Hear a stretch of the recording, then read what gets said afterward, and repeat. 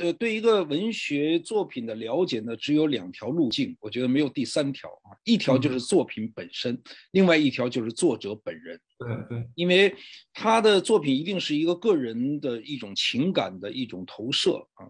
小松左京的这个作为一个个人来说，实际上他是呃这个生活在一个时代的一个很大的漩涡当中。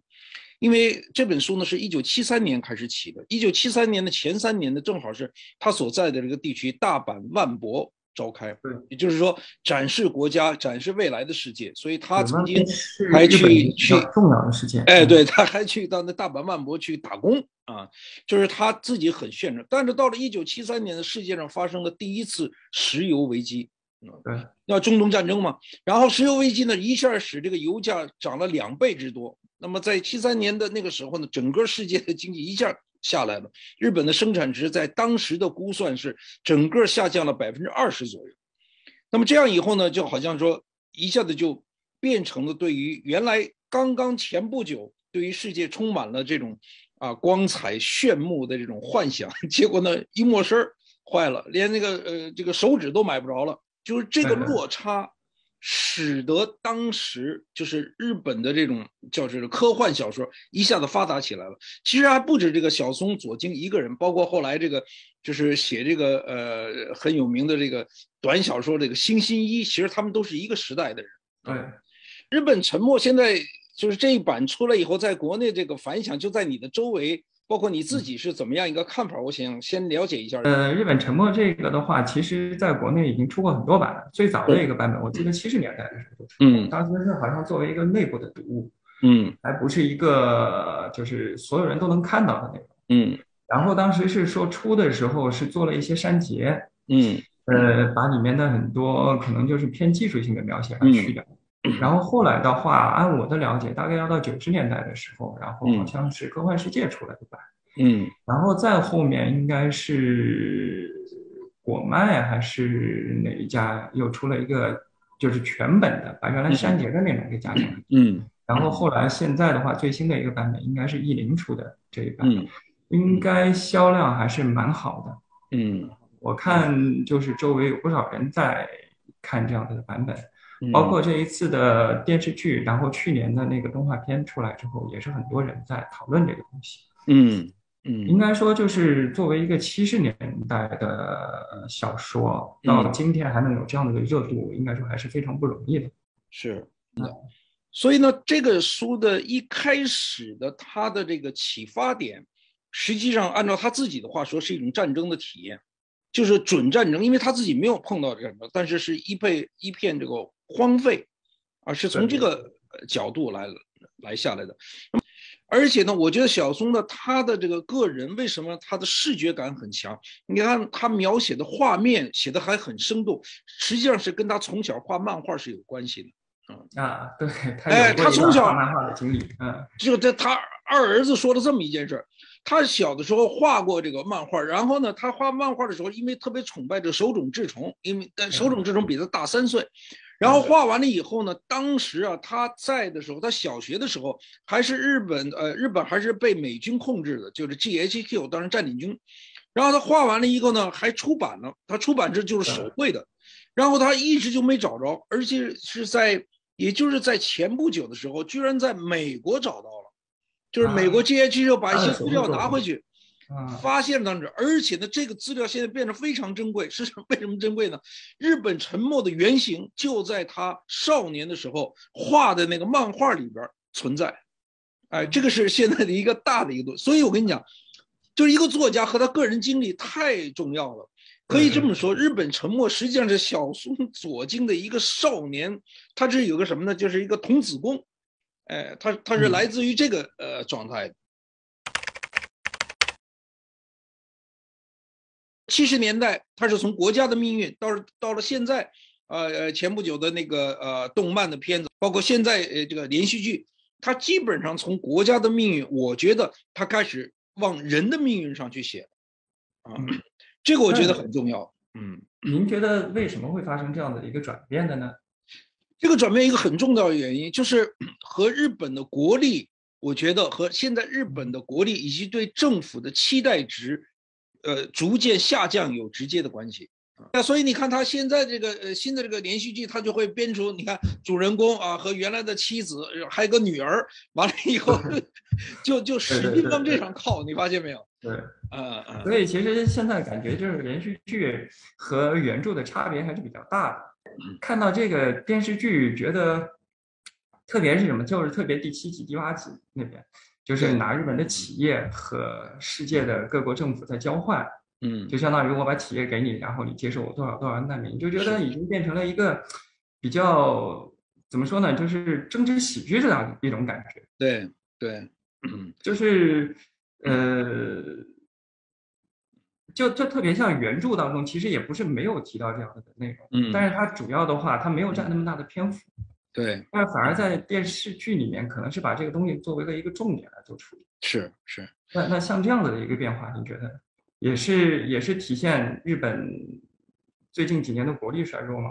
是的，呃，我觉得特别像这个，就仿佛日本天皇的面孔。哎，你看日本明治的时候那个天皇，哇，大胡腮，眼窝很深，你发现没有？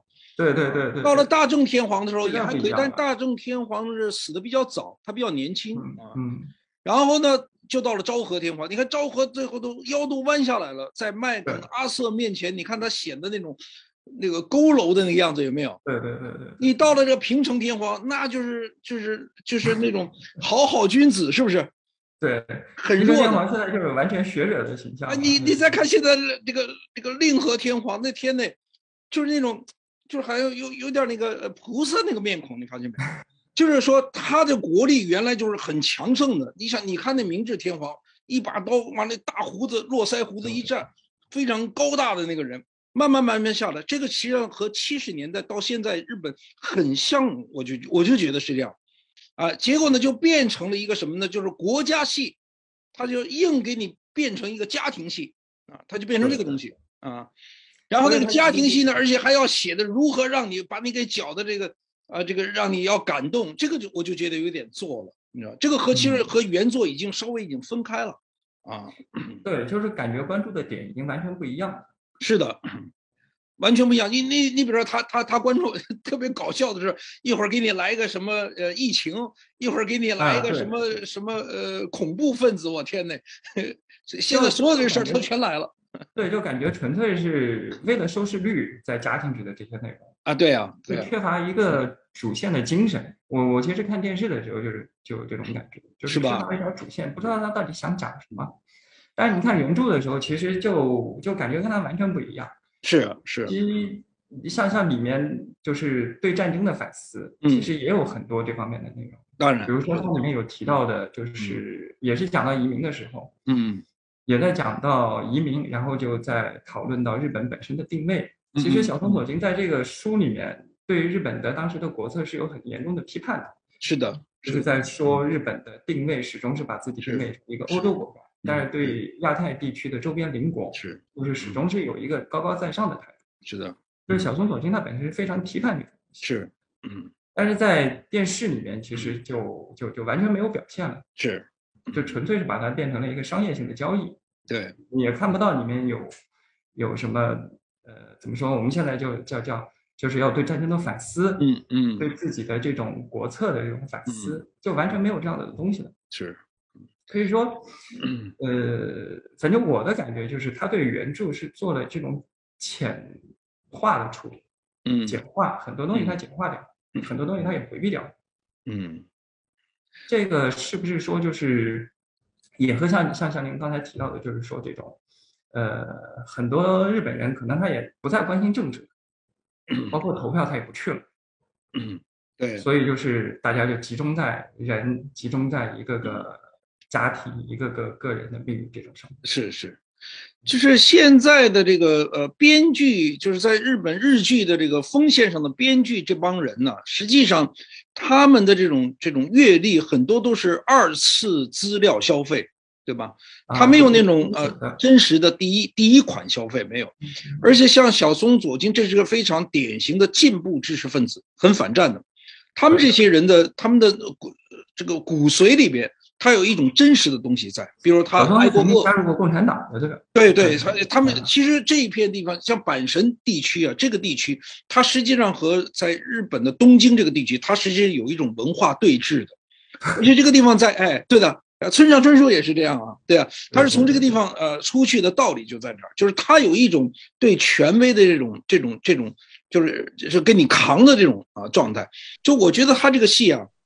就是对于原著来说，它完全是个减肥的。原来日本沉默这个戏，就像小松左京这个人一样，他这个人很宽，你知道吗？长得有点像他妈相扑似的。啊，你现在好像变得现现在这个作品变得跟杆儿似的，你知道吗？嗯嗯啊，不饱满。因为日本沉默它毕竟是个经典，而且它是给日本科幻小说带来了黄金时代的，就等于像棋手一样的作品。对吧？它是一个很大的一个高峰，所以呢，被压的这帮年轻人，而我就说现在年轻人他气势不够嘛。如果你要有本事，你你根本就可以脱离他们，你你可以完全是从另外的一个呃角度去啊去描写啊，这是一个不同的。就是现在的呃日日本的这种就是文艺创作者啊，就是他就包括日记，包括小说家也是在那，就是他的视野啊，因为是对于世界的不了解或者不愿了解，就像。年轻人不愿意投票，道理是一样的。它越来越窄，越来越窄。我我特别能够深刻体会到，反而就是我们国内的一些年轻人对于世界的这种这种苛求，这种看这个这个愿望，要远远大于日本的年轻人。这真的是我的这个呃实际的感受就是这样的。嗯，就是按现在网络上面的说法，就是日本的年轻人躺平的更多，是这种感觉。对他早就躺平了，因为现在也有一些躺平的人，但是应该说还是很多人还是还是比较怎么说呢，积极向上。